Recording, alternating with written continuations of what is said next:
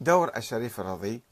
طبعا الشريف الرضي وأستاذه المفيد الشيخ المفيد يسمى شيخ الطائفة والشيخ الطوسي وأخو الشريف الرضي الشريف المرتضى.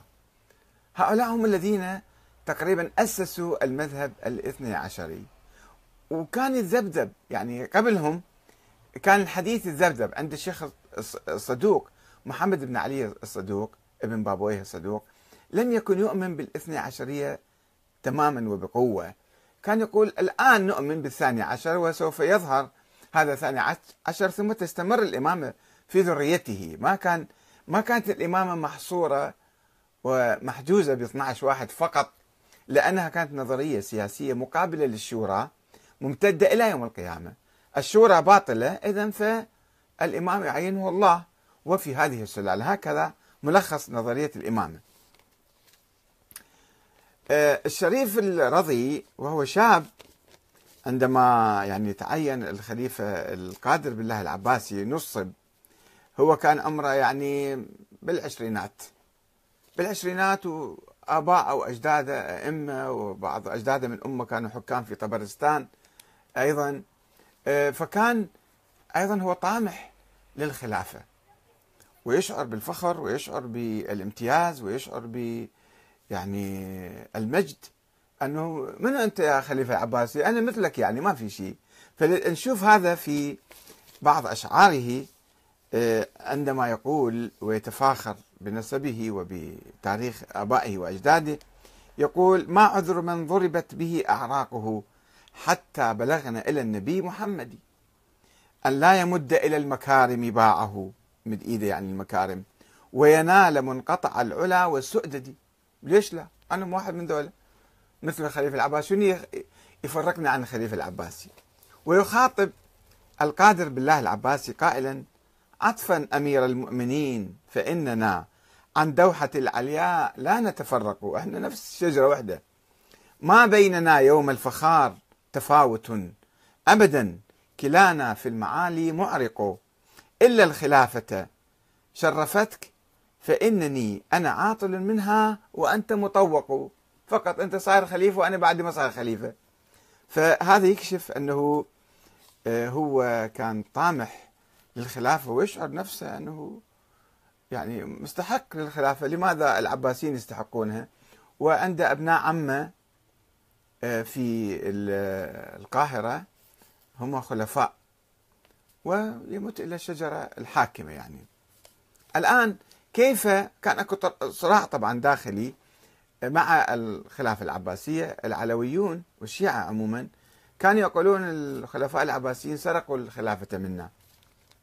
وهم أبناء العباس أبناء العم. والخلافه كانت لعلي بن أبي طالب ولأبنائه فإحنا لازم نأخذ الخلافة. فمن هنا كان التنافس أقوى مع العباسيين يعني يحاولون يجرون البساط من تحت أقدام العباسيين ويهدموا عرشهم ويبنوا عرشا علويا على أنقاض العرش العباسي. فهنا وربما بوحي البويهيين أيضا وبأمر البويهيين آه، أسس السيد الشريف المرتضى مدرسة اسمها دار العلم في بغداد. وجمع طلاب وصاروا ينظروا وصاروا يبثوا يعني ثقافة هي ثقافة تاريخية أو ثقافة مثلا مذهبية ولكنها تنطوي على ثقافة سياسية أو بعد سياسي. فحاول السيد المرتضى أن يبين شرعية الإمام علي حتى يستمد شرعية من عنده فكتب كتاب وألقاه على طلابه في دار العلم مدرسة مدرسة دار العلم اسم الكتاب خصائص الأئمة الاثني عشر يعني. ولكنه آه، ما استطاع يكمل الكتاب. أول ما بلش بالكتاب بخصائص الإمام علي بن أبي طالب بدأ يجمع القصص والأحاديث والروايات وما آه، كتب عن الإمام علي آه، واستغرق الحديث هذا وجر إلى تأليف كتاب نهج البلاغة. يعني جمع نهج البلاغة ثم لم يستطع أن يكمل بقية الكتاب. فهو بالحقيقة اسمه خصائص الأئمة ولكنه في الواقع خصائص الإمام علي فقط. ما كمل الكتاب كله يعني. وهذا الكتاب نشر بمناسبة الألفية على وفاة الشريف الرضي في مشهد في إيران آه، مجمع البحوث الإسلامية في مشهد. نشر هذا الكتاب سنة 1406 هجرية يعني بعد ألف سنة على وفاته. وحقق هذا الكتاب محمد هادي الدكتور الشيخ محمد هادي الأميني. حقق هذا الكتاب ولكن طبعا لم ينتقده لم يناقشه لم يبحث فيه مجرد أن هذا الكتاب مثلا صحيح يعني ينسب إلى الشريف المرتضى أو لا كتاب منسوب إليه مثلا مو مو موثق الكتاب. طبعا في ربما واحد يعني يبحث في هذا الموضوع وهذا مجال للبحث آه، ولكن آه، إحنا آه، نحاول نقرأ هذا الكتاب ونشوف شنو شنو ماذا يوجد في هذا الكتاب وكيف قدم الشريف الرضي الإمام علي للناس. هذا شيء مهم.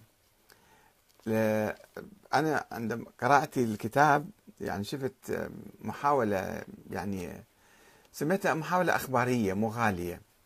من الأشياء اللي كانت موجودة ذيك الأيام هو كتب هذا الكتاب. وهو رغم علمه ورغم أدبه ورغم ما محقق القصص. وما يجيب السند أيضا. مثل نهج البلاغة كما تلاحظون ما في سند. يعني الثغرة الكبيرة الموجودة في نهج البلاغة أنه سند ما مذكور. في القرن الرابع يجمع هذا الكتاب ولا يروى رواية يعني بالسند إلى الإمام علي. آه، فلذلك يمكن واحد يشك أنه أشياء مضافة منقوص من عندها محذوفة. زايدة صحيحة مو صحيحة في كلام حول نهج البلاغه. أه الشريف المرتضى العجيب يعني من بداية حياة الإمام علي يبدأ بالأساطير. يبدأ بترديد الأساطير ودون أن يتوقف عندها ودون أن يفكر فيها. لماذا أنا أبحث هذا الموضوع؟ لأنه هذا يشكل يعني أه مادة رئيسية في الثقافة الشيعية الحالية أنه الناس يقرؤون الكتاب ويأخذون كل ما موجود بالكتاب. الشريف الرضي كاتب هذا الكتاب بعد هذا بدون مناقشة يأخذوه. حتى العلماء ملاتنا ما يناقشون القصص الموجودة. في باعتبارها قصص تاريخية وقصص كذا ولكنها تصير خطباء على المنابر يمكن يحجون بها دائما يرددون هالقصص هذه. وهي لازم واحد شوية يعني خاصة المدرسة الأصولية لازم شوية تحقق تدقق يعني تعلق على القصص. عندما نطبع هذا الكتاب نحاول شوي نعلق على القصص ما صحيحة مو صحيحة؟ ما هو السند ما هو الكذا. مو نغرف نغرف بال اي أي شيء بهذا الكتاب ونعتبره كتاب مقدس وكتاب مهم وبالتالي خلص بدون مناقشة. يجب أن نتعلم.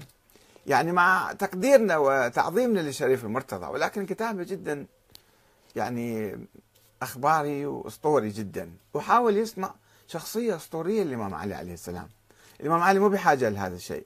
الإمام علي عظيم بحد ذاته بعدله بسياسته برؤاه بعقيدته بمبادئه الأخلاقية. عظيم بهذه الأشياء. ليس بهذه الأمور التي يذكرها الشريف الرضي ولكنه يبدو سلاح في المعركة كانت ضد العباسيين أنه يأسطر الإمام علي. وهذه عادة